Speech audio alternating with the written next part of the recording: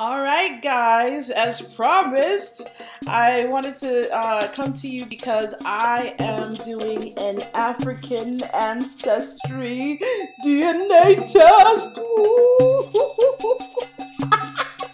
I'm so excited.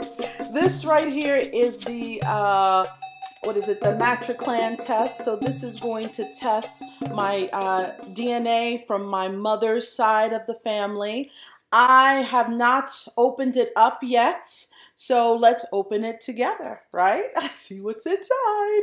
All right, so I'm so excited, so excited. Oh, little fancy envelope, huh? oh, oh, oh, oh, I didn't read the front. It says African ancestry. Trace your DNA, find your roots today, right? And then the back, it says Discover your roots of your family tree and transform the way you define yourself with African ancestry, the pioneer of genetic ancestry tracing for people of African descent, testing materials and closed. All right, so here we go. Whoa, I didn't think there was going to be so much in here, but there is. All right, let's see.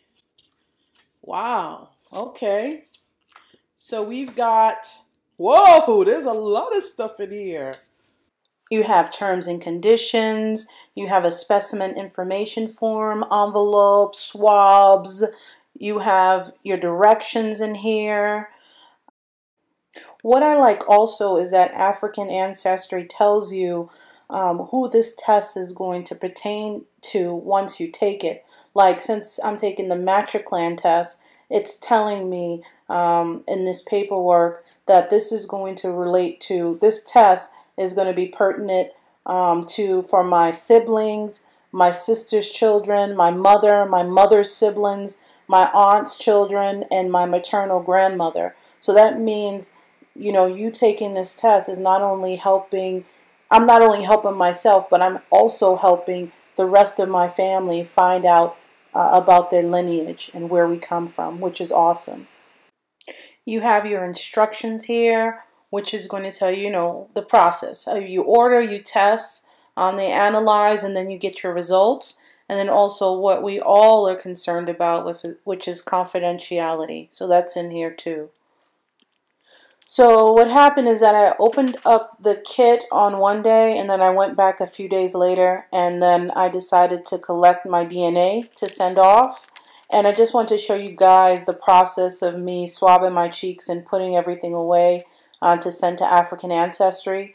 And the instructions were uh, not to use any mouthwash, toothpaste, or consume caffeine, alcohol, or smoke for at least three hours prior to swabbing my cheeks, to rinse my mouth out twice with water, and then you're supposed to swab your cheeks approximately 20 times on each side of your cheek and then you send African Ancestry three swabs per envelope, which is a total of uh, two swabs. I mean, a total of two envelopes.